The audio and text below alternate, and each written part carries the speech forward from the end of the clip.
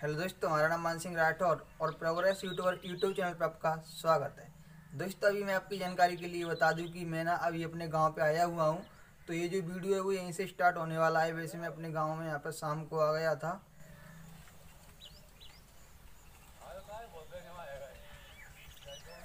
तो जस्ट अभी मॉर्निंग में मैं जग के और मैं वीडियो बनाना ही मैंने शुरू कर दिया है। हालाँकि अभी मैंने मोह वगैरह ज़्यादा चीज़ें नहीं की है।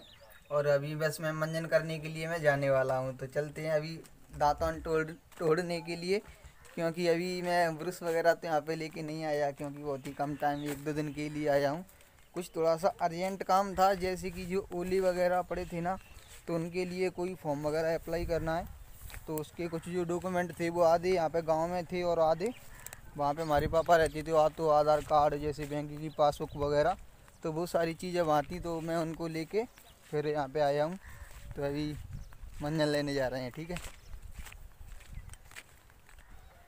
और जैसे कि दोस्तों बता दें, यहाँ पे जो पेड़ है तो वो हमारे खेतों में ही है। ये हमारे खेती है जिन्हें अभी आप देख रहे हैं। और ये सामने ये नीम का पेड़ है तो नीम के बारे में आपने पढ़ा होगा, ठीक है? अगर आप किसी सिटी में रहते हैं तो आपने इनको पढ़ाई होगा। सिर्फ़ देखा तो होती है ना, कम ही होगा। और जैसे कि मैं यहाँ पे बता दूँ कि मंजन होता है ना तो वो ना उसमें से कोई एक डाली सिलेक्ट की जाती है जो अच्छी होती है मंजन करने के लायक।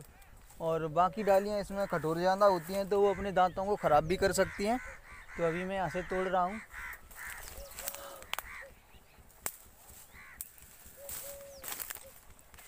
तो दोस्तों, हमने ऊपर से इस डाली को तोड़ लिया है। वैसे ये जो आधा ये सौचा है। इसको पहले भैंस वगैरह होती थी, हमारे घर पे तो खा लेती पर अभी नहीं है तो इसको फेंकना ही पड़ेगा। अब ये यूज़ में उतना ज़्यादा नहीं आएगा।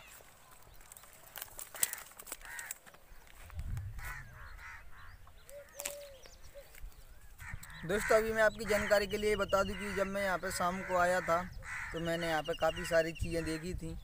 जैसे कि बिल्कुल शाम नाइट होने वाली थी तो मैं उस टाइम पे यहाँ पे आया था। तो मैंने यहाँ पे चाँद वगैरह वो चीज़ें देखी। जब मैं वहाँ पे बाज़ार में रहता था तो ये नहीं पता चलता था कि अभी चाँद अभी निकल रहा है या फिर नहीं निकल रहा। मतलब जो अंधेरिया है या फिर उजरिया है तो यहाँ पे वो सारी चीज़ें प्रकृति की चीज़ें थी तो वो मैंने देखी, जिनको मैं बचपन में भी देखता था।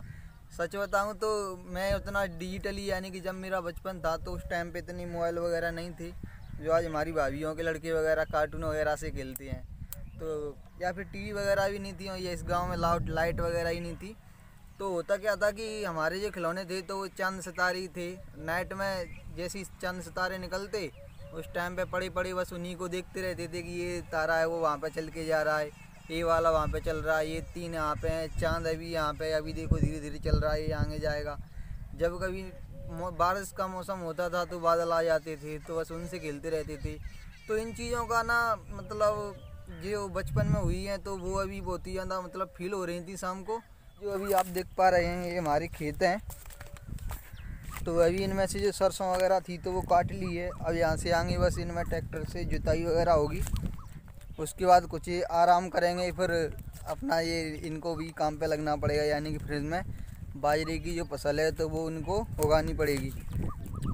और दोस्तों, अभी मैं यहाँ पे अपना कुआ दिखा रहा हूँ, ठीक है? जिसमें मैं बहुत ही, मैं छोटा था तो इसमें हमारे घर वाले दसा देते थे रस्सी से। ये रहा ये रहा।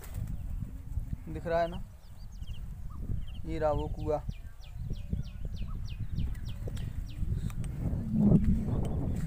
सोचो कि ये कुआ में मैं कब दसता था, यानी कि 2010 से तो मैंने गाँव ही छोड़ दिया। तो अभी 2020 चल रहा है तो 10 साल तो उसको ही हो गई।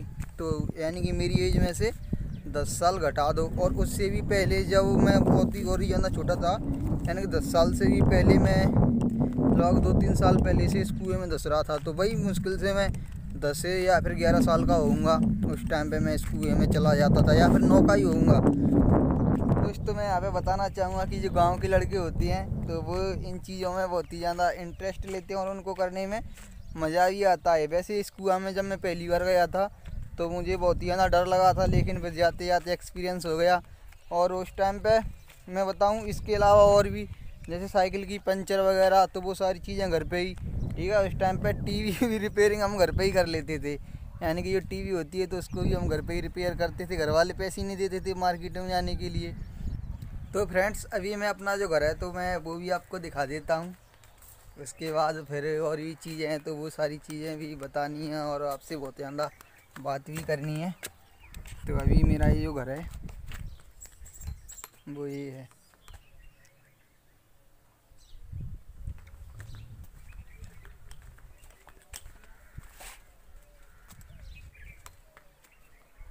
नीम का पेड़।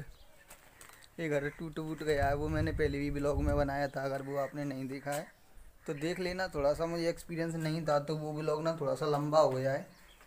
और मैंने इस चीज़ के बारे में बताया था कि इस पर हम पहले टीवी वगैरह रखते थे, इस पर ऊपर और इलेक्ट्रॉनिक सामान, यानी कि ये वाला जो रूम था तो इसी रूम में हम अपने सबसे ज़्यादा टाइम है तो वो गुजारते थे। अभी यहाँ पे पापा वगैरह आ गए थे तो आलू और ये बेर वगैरह उन्हें लेके रख लिए, ये जो ढोलक है वो फूट गई है।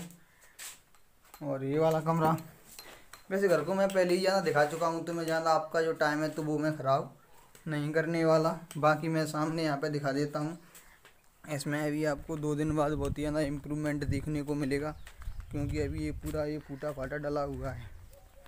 यहाँ पे लकड़ी वगैरह रखी हुई है।